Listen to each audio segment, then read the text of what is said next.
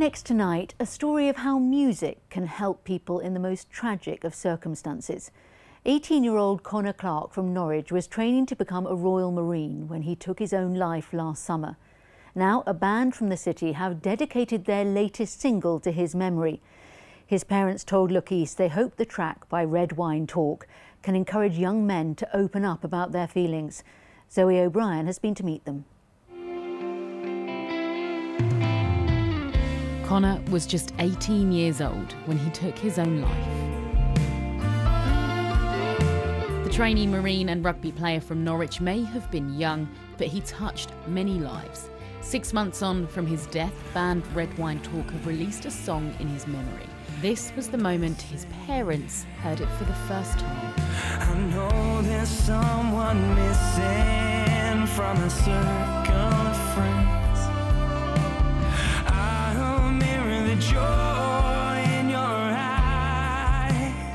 Connor's parents say they want the song to open up the conversation about suicide.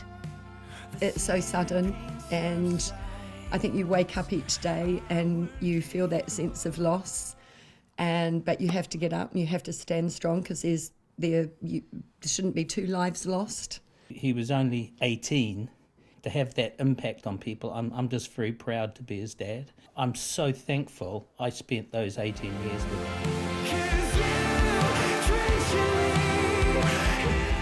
Guitarist Callum knew Connor through his younger sister. He felt compelled to write the song on the evening of Connor's memorial. A lot of the lyrics just came from the pure emotion I felt that evening. Hopefully, it helps a conversation about the whole whole topic. Um, you know, we do need to speak more. You know, what, they say one in four um, young men in the UK have suicidal thoughts, and I think the statistics wrong. It's probably way more. There's one in four that talk about it. The band say it's a subject close to home. Throughout my life, I've struggled very badly with mental health, and. Uh, when Cal came to me with with the song and with the lyrics and stuff like that, it it, it can I feel like it can um, really touch people in different ways. This this song.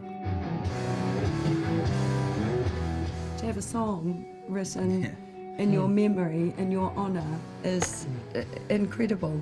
It just warms my heart, makes me realise what a special son that well we always have. The deep blue sea between us has already raised more than £800 for East Anglia's children's hospices. The band are hopeful it might also raise awareness and start life saving conversations. Zoe O'Brien, BBC Look East. And if you want more information on issues raised in Zoe's film, you can go to bbc.co.uk slash action line or you can call the number on the screen now.